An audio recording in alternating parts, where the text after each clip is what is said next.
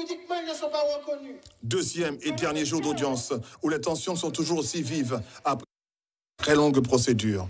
Les membres de l'AFCA, partie civile dans ce dossier très sensible, ne semblent pas apprécier la position du parquet général. À chaque fois que nous expliquions notre point de vue, nous avions un parquet général qui répétait exactement la même chose. C'est à un moment donné, les parties civiles ont décidé de quitter la salle et nous avons demandé à la Chambre d'arrêter ce simulacre de débat, puisque nous avions un parquet général qui n'était pas capable de faire un véritable débat contradictoire. Et pourtant, le président de la Chambre de l'instruction acceptait hier d'analyser les sept actes écartés en première instance, notamment les plaintes déposées à l'encontre du courtier de Miami. Il s'était substitué à la compagnie West Caribbean.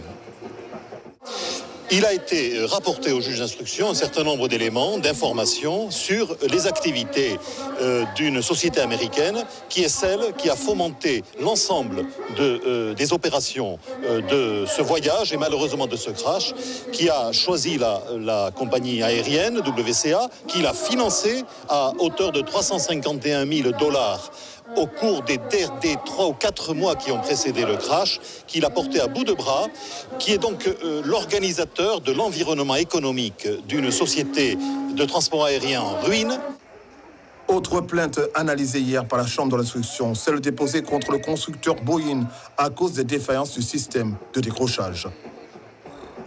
Le rapport d'expertise que nous avions produit, puisque les experts du juge d'instruction ne l'avaient pas examiné, ce point essentiel de l'alarme de décrochage, nous nous l'avions fait analyser par un expert éminent qui a tout simplement rapporté que euh, euh, jusqu'à ce que l'avion soit en décrochage irrécupérable, les pilotes n'en sont pas avertis avec une netteté suffisante ou euh, sont plongés dans un certain nombre de phénomènes et d'éléments euh, de pilotage qui les amènent à la confusion et à ne pas discerner, ne pas pouvoir discerner, faute d'alarme spécifique de décrochage à haute altitude, que cet avion est perdu.